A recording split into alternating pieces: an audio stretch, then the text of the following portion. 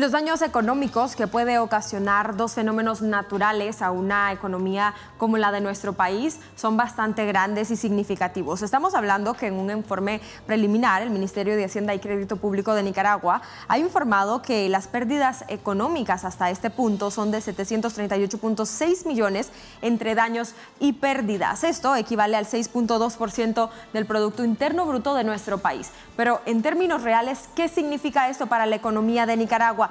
Para ayudarnos a entender un poco más acerca de este tema, tenemos a Luis Sánchez, quien es máster en Desarrollo Internacional y Política Pública a través de Skype. ¿Qué tal, estimado? Bienvenido a Puntos de Vista. Gracias por el tiempo que dispone para conversar con nosotros. muchas gracias por la invitación, Elizabeth. Y antes nada, quiero expresar la solidaridad con la gente del Atlántico y los demás afectados por esta, esta doble calamidad natural. Nos unimos a ese, a ese sentir. Y bueno, me gustaría que podamos dar inicio a esta conversación hablando un poco sobre cuál es el impacto que puede causar eh, la presencia de fenómenos naturales eh, de la magnitud de IOTA y ETA en una economía como la de Nicaragua. Bueno, catastrófico. Como bien citaba el informe del Ministerio de Hacienda, eh, habla de 738 millones seis puntos del producto en un contexto donde ya venimos arrastrando una crisis económica producto de la crisis del 2018. Eh, venimos arrastrando también los embates de la pandemia del COVID-19 en el mismo año y luego nos caen dos huracanes, categorías 4 y 5, en un periodo de dos semanas. Verdaderamente que más allá de, eh, del impacto que esto pueda causar, el, el desbalance a la macroeconomía, a la economía, a la creación de empleo, y a la infraestructura del país, pero principalmente a la de las viviendas, de la población, es catastrófico. Y, es, y, será bien difícil, una tarea pendiente, eh, conseguir los fondos, la inversión la donación y los recursos para restaurar lo que teníamos, que ya estaba, como te menciono antes, en declive. Entonces volver a esa base tan baja y tan precaria y tan vulnerable porque verdaderamente, Elizabeth, somos una economía sumamente frágil a estos eh, desastres naturales y eventos externos, como, lo, como bien lo decís. Ahora, el punto de la fragilidad económica que vive Nicaragua ya ha llegado a su límite a lo largo de estos tres años. Han sido tres años eh, económicamente bastante complicados para nuestro país. Habían perspectivas económicas para este año 2020, sin embargo, supongo que muchas de ellas no se van a cumplir. ¿Qué representa el 6.2% de pérdida del PIB para la economía o para la realidad económica de Nicaragua. Es decir, cuando decimos se ha perdido el 6.2% o ha impactado el 6.2% del PIB, ¿a qué nos estamos refiriendo en términos reales para la economía del nicaragüense común, para la economía del nicaragüense también que trabaja desde la producción o desde diferentes áreas que aportan a la estabilidad de nuestro país? Bueno, para el nicaragüense común significa que va a tener que trabajar más. Mira qué injusticia, eh, porque Nicaragua ha sido muy resiliente, muy eh, muy fuerte en resistir los embates de la crisis política y la crisis de la pandemia del COVID-19. Pero en, resumen, el, informe habla también, Elizabeth, de daños a, a, las viviendas. Tenés que reconstruir la vivienda, tenés que reconstruir tus pozos sépticos, tus fuentes de agua, tenés que reconstruir los caminos rurales, tenés que, eh, si tus cultivos, los de las familias afectadas, si sus cultivos, sus fuentes de ingresos, su maquinaria, si su, todo lo que se le haya dañado lo tienen que reponer. Entonces, en, términos prácticos, para la gente afectada, van a tener que trabajar más para reponer lo que se les dañó. Y por eso es que es necesario que el Estado, que el sector privado, sociedad civil, junten esfuerzos para eh, garantizar esos recursos que son necesarios, vitales, para reconstruir esta zona eh, del Atlántico o las zonas que hayan sido afectadas. Ahora, a nivel más macro, aumenta el déficit fiscal del país, aumenta la necesidad de fuentes de financiamiento, puede aumentar incluso la, deuda externa. Eh, en respuesta al COVID-19, el Fondo Monetario acaba de, emitir un crédito de 185 millones de dólares, 185.3 eh, para dar respuesta al COVID-19. Ya el BID había eh, concedido un préstamo de 47 millones y también por ahí el BESI ha estado generoso en cuanto a sus contribuciones, casi sumando 200 millones dependiendo de cómo lo midas, para eh, efectos de hacer frente a la pandemia. Pero eso, vos decías 738 millones y en el agregado yo no te hablo ni siquiera de 500. Entonces la brecha entre lo que se ha perdido y lo que se necesita para reparar lo perdido es muy grande aún. Y tenemos un país que se encuentra en un contexto, contexto muy complejo para eh, adquirir inversión extranjera, adquirir eh, recursos de la cooperación internacional, así que nos viene un año muy difícil en 2021, Elizabeth. Definitivamente, verdaderamente difícil esta situación, sobre todo porque ya mencionaba usted, venimos de unos años bastante complicados y a esto se le suma eh, factores que no podemos controlar como COVID-19 y ahora estos dos fenómenos naturales. ¿Cuáles hasta el momento considera han sido los sectores mayormente impactados en este contexto? Por los huracanes, eh, obviamente el turismo. Eh, el turismo ha sido catastróficamente impactado. Tenían incluso proyecciones de recuperar algo de la actividad, pero no hay vuelos, Elizabeth. O sea, solo habían que estar entrando en los vuelos charter, no hay vuelos. En un contexto donde el turismo centroamericano, europeo, norteamericano está totalmente ausente porque no hay vuelos y eh, ¿verdad? Iba a ser un complejo también restaurar las rutas. Eh, así que también los sectores productivos, como te decía, la agricultura, los sectores de la, de la pesca. La pesca fue sumamente afectada en este, con los dos huracanes y por eso habla el, el, el, Ministerio de Hacienda de que en el sector productivo la afectación solo en el sector productivo fue de 49 millones, para desagregar un poco la data. Y en infraestructura, caminos, eh, carreteras, puentes, eh, muelles, 362 millones de dólares.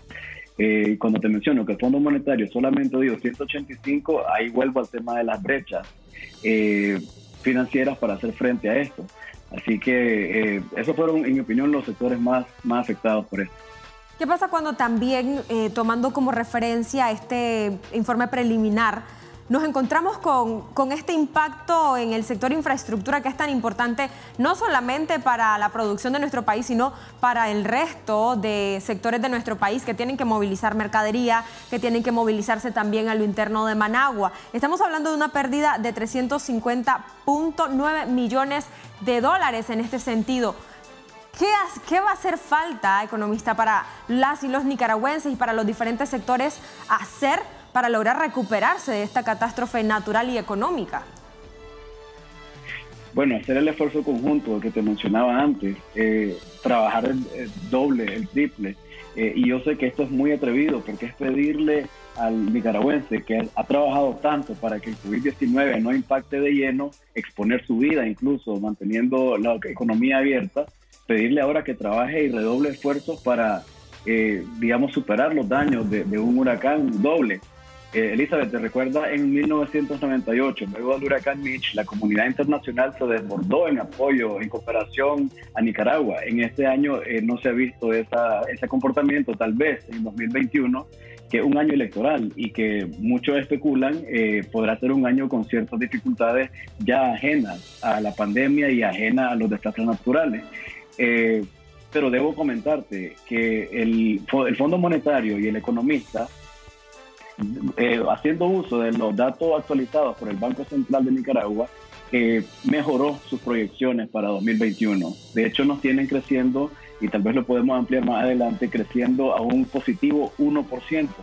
Eh, y con, el, y con, la, y con las, las demandas de financiamiento externo que vamos a necesitar para cubrir los embates de la pandemia y los desastres naturales, por la parte de la cooperación extranjera quizás podría ser algo inferior a eso porque no contemplaba esos informes los desastres naturales que ocurrieron en, el mes de noviembre. De alguna manera pudiera cambiar esta proyección positiva, ¿no? Con el contexto no solamente de pandemia, pero también con estos desastres naturales. Claro, podría empeorar, porque las proyecciones asumen el, status quo de cuando se hicieron, que fue hace unos meses, y este, estos dos huracanes vienen todavía a dificultar aún más la situación. Entonces, probablemente, bueno, no me atrevo a hacer proyecciones, ¿verdad? Pero eh, probablemente hablemos de 0.5 o 0% incluso. Eh, en, un caso triste porque no hemos crecido positivamente desde 2017.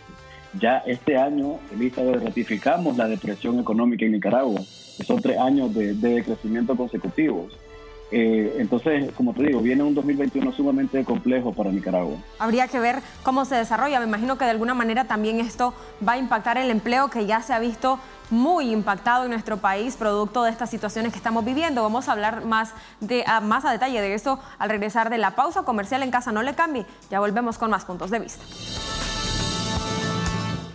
Dos huracanes inesperados en nuestro país han dejado serias afectaciones, 21 personas muertas en más de 28 municipios del país, afectaciones eh, diferentes en la economía de Nicaragua, las pérdidas humanas, las pérdidas económicas. A esto se le suma un contexto de emergencia sanitaria que el país ha estado tratando de enfrentar en este 2020. Definitivamente que para la economía de Nicaragua y para las y los nicaragüenses, ese 2020 no ha sido tan favorable. Sin embargo, todavía hay que ver qué nos depara el próximo 2021. Y estamos conversando con Luis Sánchez, quien es máster en Desarrollo Internacional y Política Pública. Nos ha ayudado a comprender un poco más este tema. Nuevamente yo le quiero agradecer por el tiempo que ha brindado a puntos de vista, a la audiencia que nos ve, para comprender un poco más de este tema. Yo le preguntaba, esto de alguna manera se va a traducir en desempleo, ¿no? Estamos hablando de 738.6 millones de dólares. Tal vez para muchos que no entendemos de economía no resulte una cifra tan grande, pero estamos diciendo 6.2% del PIB. Esto de alguna manera tiene que impactar en la economía, pero también en el futuro de las y los nicaragüenses que viven del día a día, economista. Eh, exactamente. Eh, de hecho, el, déficit fiscal del gobierno oscilaba alrededor de 1% antes de, esto, de desastres naturales. Eh, y así que ahora le sumás el impacto de 6% al producto o al tamaño de la economía nacional que, que tuvo estos dos huracanes, así que se puede inferir que se incremente aún el déficit fiscal y que incremente, por cierto, la presión de inyectar recursos a la economía, y Elizabeth, esto se está haciendo de la siguiente manera, eh, difícilmente recurriendo a préstamos externos, pero también con emisión de deuda interna y externa, y se está haciendo eso encareciendo también la, el tema o, agrandando la deuda pública, la deuda externa en Nicaragua, que ya está llegando a niveles de 12 mil millones de dólares, casi el 100% del Producto Interno, que es bastante peligroso, y especialmente cuando, cuando recurrimos como país a fondos como los del BESIE, que no son concesionales, no tienen eh, las dos condiciones de, de tasas de interés muy bajas y términos de repago muy prolongados. Así que la presión por el servicio de esa deuda de cara al futuro va a ser bastante compleja. Te quiero mencionar brevemente, Elizabeth, tres indicadores eh, precisamente de 2020 eh, y es en cuanto a la cuenta corriente. caímos básicamente 77 millones según el Fondo Monetario, precisamente por la pandemia, en maquilas, menos 247 millones, exportamos menos maquilas. En el sector turismo, 212 millones eh, de dólares, casi cayó a la mitad del turismo. Y las remesas cayeron 344 millones. O sea que las remesas más o menos eh, se contrajeron un 12%, se preveía antes de, tal vez de abril, de marzo, que se contrajeran aún más, eh, pero no fue tan grave el impacto, afortunadamente.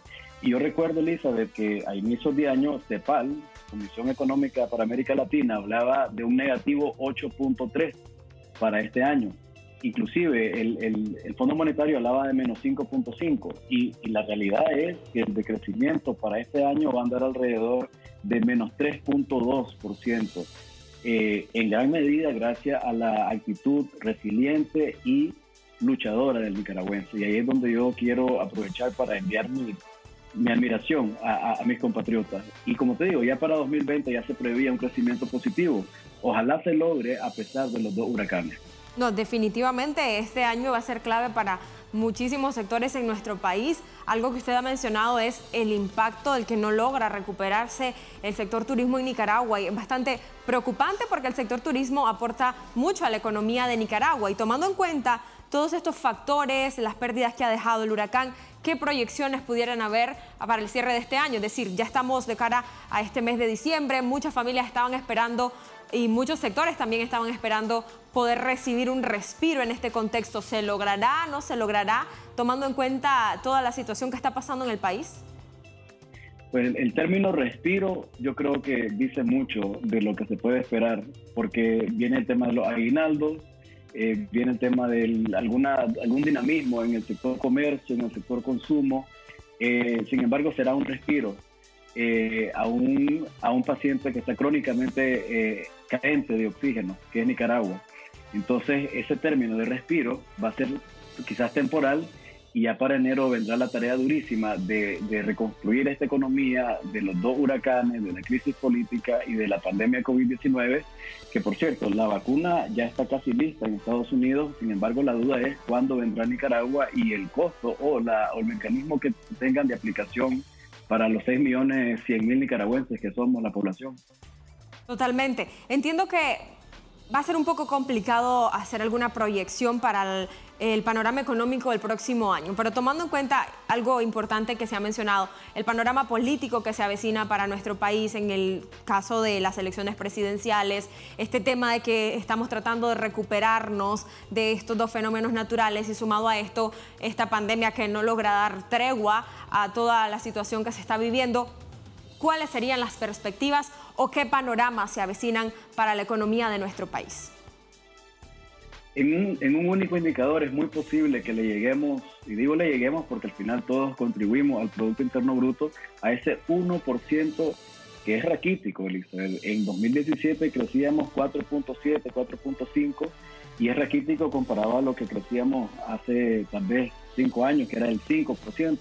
Eh, ahora crecer al 1 va a ser un milagro sobre la base de todo lo que está pasando, lo que mencionaba. Así que, en resumen, llegar a ese 1%, en gran medida, gracias a la cooperación extranjera, gracias a la disciplina fiscal que muestra el gobierno y, la, y, el trabajo duro de todos los nicaragüenses va a ser lo que permita acercarnos a ese umbral tan difícil que es crecimiento positivo. Y crecimiento positivo modesto, 1% es un umbral agresivo para, para todos los retos que vienen en 2021. Pero es posible, es lo que te quiero decir. Sí. Quiero preguntarle o finalizar esta conversación eh, preguntándole qué recomendaciones darían los diferentes sectores desde el ámbito económico, cómo encaramos los retos que se nos avecinan para la economía del país, de qué manera también lograr sobrellevar este contexto que ha sido bastante eh, difícil o bastante, como usted diría, un poco raquítico para la economía de Nicaragua. Eh, pues bueno, antes que todo, que no bajen la guardia ante el COVID-19, la pandemia no se ha ido. Es mentira que ya está resuelta, que ya todos somos inmunes. Eso, eh, mucho cuidado con eso, eh, con malentender los fenómenos o, lo que se ve en las calles. Hay que tener mucho cuidado, usar su máscara, mantener el distanciamiento social, enjuagar sus manos. Eso por la parte del COVID-19, para no colapsar el sistema de salud pública. En cuanto a la, a, la economía, eh, bueno, entender, leer bien el mercado, leer bien, y eso se lo eh, suena un poco también eh, atrevido, pero entender bien las necesidades de la nueva Nicaragua, esta Nicaragua de 2021 que está necesitada de emprendimientos casi que de subsistencia.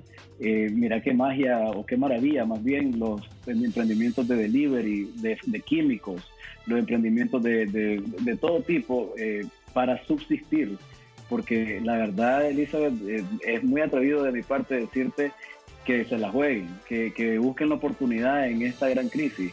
Eh, casi no hay oportunidades en esta gran crisis y es la primera vez en mi vida que yo miro un año tan difícil eh, antes de que empiece, que es 2021. Ojalá y se logre salir de este proceso, de esta situación. Es lo que esperamos todos los nicaragüenses, sobre todo para muchísimas familias que han perdido sus viviendas, que perdieron sus negocios para las familias que han perdido eh, familiares o personas queridas en este contexto. Muchísimas gracias, estimado Luis. Nosotros vamos a estar pendientes de poder conversar con usted. Esperamos que tenga la apertura para participar nuevamente en Puntos de Vista con nosotros. Claro que sí, Elizabeth. Muchísimas gracias y a la orden siempre. Ha sido un placer para nosotros. Así llegamos a la recta final de Puntos de Vista. Quiero recordarles que Voz TV, el canal del orgullo nicaragüense, ha lanzado la campaña Unidos somos más fuertes para que usted pueda sumarse a esta campaña y ayudar a las familias nicaragüenses que han sido seriamente afectadas producto del paso de ETA y IOTA en nuestro país. Sobre todo estamos hablando de las zonas de Tola y Carazo, comunidades que se vieron realmente afectadas producto de este contexto de emergencia que ha estado viviendo Nicaragua producto de estos fenómenos y también recordarles que puede venir a las instalaciones de VOCB, seguirnos a través de nuestras redes sociales, consultar de qué manera puede ayudar a estas familias nicaragüenses que en este momento están necesitando de nuestro apoyo. Soy Elizabeth Reyes y junto con el equipo de producción les esperamos acá en la próxima edición.